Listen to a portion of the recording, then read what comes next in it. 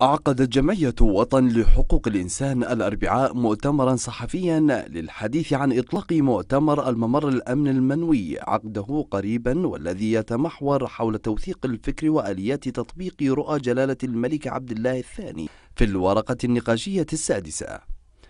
رئيس جمعية وطن لحقوق الإنسان لورانس عواد أكد أن هذا الدور لن يقوم به إلا أصحاب الفكر من الإعلاميين فهم الأقدر على توصيل الرسالة للجميع وللمجتمع بأكمله والذي يأخذ على عاتقه هذا الدور الوطني الكبير. وهذا المؤتمر يعتبر انطلاقة أكاديمية ومنهجية تساهم ولأول مرة في طرح الورقة النقاشية الملكية السادسة. آه، لورانس عواد آه، رئيس جمعية وطن لحقوق الإنسان.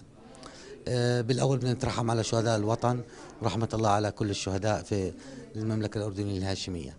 آه، اليوم كان عندنا اجتماع ومؤتمر صحفي آه، الأول للحديث عن أهمية المؤتمر الممر الآمن.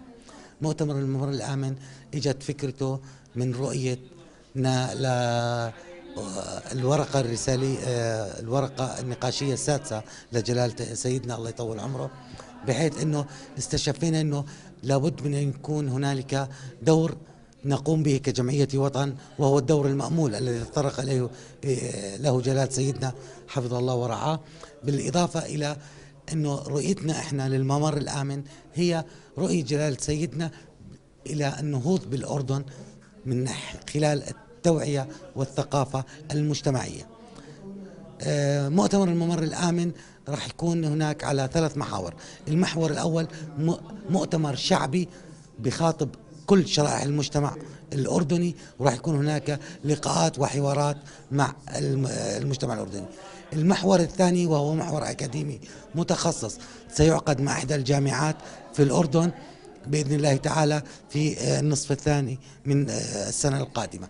راح يكون معنا أيضا ملاصق لهذا آه، الطريق هبة وطن وهو عبارة عن ميثاق.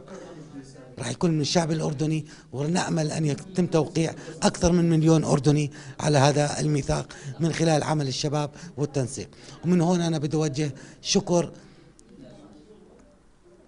كبير وحقيقي إلى كل الشركاء معنا من المنظمين ومن أوائل المنظمين الهيئة العليا لهذا المؤتمر ومن جميع المشاركين معنا من المواقع الإلكترونية والمواقع الإخبارية وجميع الشخصيات اللي واقفة معنا وبناشد كل الإخوان أنهم ينضموا إلنا لهذا العمل الشعبي الوطني الكبير. وعلى رأسهم هيئة شباب كل الأردن الله يعطيهم العافية ونشكر لهم وقفتهم معنا واستعدادهم لتقديم أي خدمات إحنا ممكن نتشارك إحنا وياهم فيها. واجتهدت جمعية وطن لحقوق الإنسان وانطلاقا من شعورها بأهمية الشراكة معها مبينة على الورقة النقاشية الملكية السادسة. ما هي إلا خريطة طريق لمستقبل أردني بدولته المدنية فحاجتنا إلى كل نقطة ضوء فيها وتسليط الرأي. حازم السردي الحقيقة الدولية.